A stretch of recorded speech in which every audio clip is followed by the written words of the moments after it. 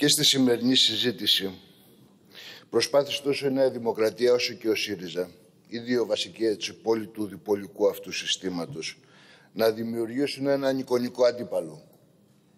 Έναν εικονικό αντίπαλο τη στιγμή που και τα δύο αυτά κόμματα μαζί και το κίνημα αλλαγής κινούνται στην ίδια ρότα.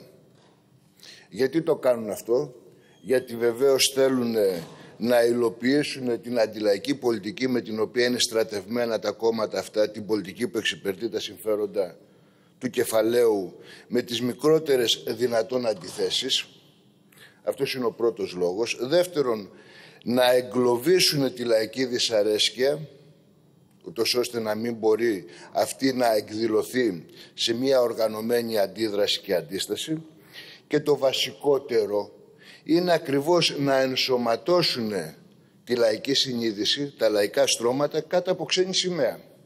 Δηλαδή τη σημαία αυτή η οποία θυσιάζει στο βωμό της ανταγωνιστικότητας και της κερδοφορίας του κεφαλαίου την ικανοποίηση των λαϊκών αναγκών. Έτσι λοιπόν, συζητώντας τον απολογισμό και ισολογισμό του 2017, το οποίο ήταν αποτέλεσμα ακριβώς της πρώτης κυβέρνησης ΣΥΡΙΖΑ ΑΝΕΛ, και εδώ με υπουργό τον κύριο Βαρουφάκη, που αυτή η πρώτη κυβέρνηση ΣΥΡΙΖΑ ΑΝΕΛ οδήγησε στο τρίτο μνημόνιο.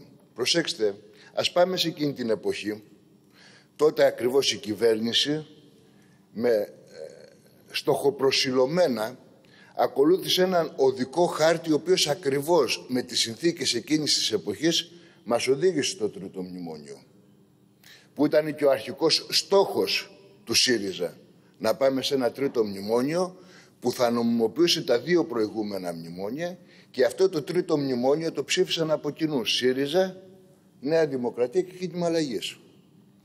Και ο προϋπολογισμός του 17, δηλαδή ο απολογισμός και ο συλλογισμός που συζητάμε σήμερα, ήταν ακριβώς το αποτέλεσμα του τρίτου μνημονιού. Εμπεριέχει δηλαδή τις βασικές, τις στρατηγικές επιλογές του τρίτου μνημονιού. Ένα τρίτο μνημόνιο το οποίο δεν διέφερε από τα δύο προηγούμενα, από το πρώτο και το δεύτερο, είχε ακριβώς την ίδια φιλοσοφία, τον ίδιο προσανατολισμό και περιεχόμενο με τα δύο προηγούμενα. Ποιες ήταν οι βασικές του στοχεύσεις; Πρώτη βασική στόχευση ήταν η δημοσιονομική εξυγίανση για να μπορέσει να καταστεί βιώσιμο το κρατικό χρέος. Ένα κρατικό χρέος θηριώδες, το οποίο δημιουργήθηκε με τις πολιτικές των κυβερνήσεων του παρελθόντος που εξυπηρετούσαν τις στοχεύσεις της αστικής τάξης και τα συμφέροντα των επιχειρηματικών ομίλων. Και από αυτή την άποψη το ερώτημα το βασικό είναι ποιος πλήρωσε για αυτή τη δημοσιονομική εξυγίανση. Εδώ δεν χωράει καμία αμφιβολία.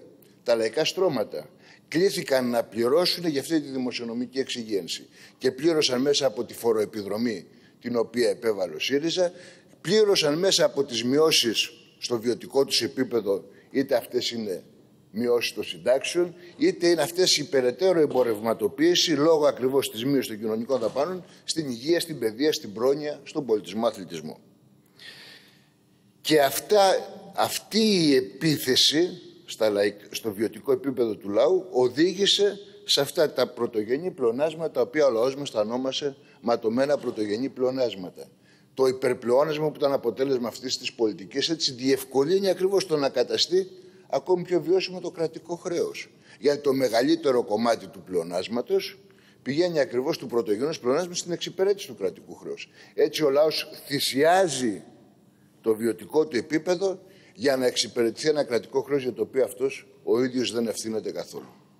Αυτό είναι το ένα σκέλος του τρίτου μνημονίου. Και το δεύτερο σκέλος βεβαίως δεν θα μπορούσε να ήταν τίποτε άλλο παρά η διαμόρφωση των αναγκαίων προϋποθέσεων για να έρθει μετά από μια μακροχρόνια καπιταλιστική χρήση η ανάκαμψη της οικονομίας. Έτσι λοιπόν συνέχισε το δρόμο του τσακίσματος των εργατικών δικαιωμάτων, διαμορφώνοντας τις συνθήκες εργασιακής ζούγκλας που σήμερα βιώνουμε. Δεύτερον, στήριξε με κάθε τρόπο τα συμφέροντα των επιχειρηματικών ομίλων διαμορφώνονται σε ένα ακόμη πιο ευνοϊκό περιβάλλον τους επιχειρηματικούς ομίλους. Ο αναπτυξιακός νόμος, οι στρατηγικές επενδύσεις και μια σειρά άλλα μέτρα τα οποία πήρε η κυβέρνηση του ΣΥΡΙΖΑ. Τρίτον, επιτάχυνε τις ιδιωτικοποίησεις παρά του λόγου το αντίθετο. όταν υπήρχε μια διαμορφωμένη συνείδηση απέναντι στις ιδιωτικοποίησεις και μάλιστα έφτασε στο σημείο να κάνει αυτό το οποίο οι προηγούμενες κυβερνήσεις της Νέας Δημοκρατίας και του κινήματος αλλαγής του Πασόκ δεν τόλμησαν να το κάνουν λόγω της λαϊκής αντίθεση, να υποθηκεύσει την κρατική περιουσία για 99 χρόνια. Και η υποθήκη αυτής της κρατικής περιουσίας για 99 χρόνια έγινε με αποκλειστικό στόχο ποιον; Το 50% των εσόδων, αν δεν κάνω κύριε Τσακάλο, το πάει για την εξυπηρέτηση του κρατικού χρέους και το υπόλοιπο 50% για να στηριχτούν οι επενδύσεις. Να λοιπόν το χαρακτηριστικό γνώρισμα της κατεξοχήν ταξικότητας της πολιτικής την οποία εφάρμοσε η κυβέρνηση του ΣΥΡΙΖΑ.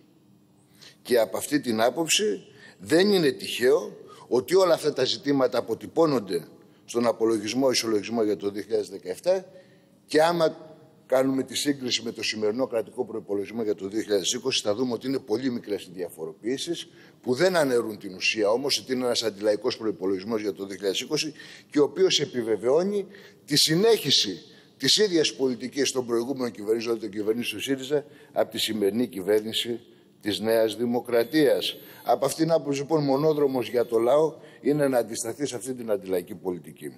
Να αντισταθεί με κάθε τρόπο, βάζοντας στο επίκεντρο την ικανοποίηση των αναγκών του, που αυτές τις ανάγκες εμποδίζουν να ικανοποιηθούν τα συμφέροντα του κεφαλαίου και των επιχειρηματικών ομίλων. Γι' αυτό ακριβώς το λόγο και το ΚΚΕ καταψηφίζει, όπως καταψήφισε τον προπολογισμό του 2020, το του 2017, συγγνώμη, και τον ισολογισμό απολογισμό για το 2017. Ευχαριστώ πολύ.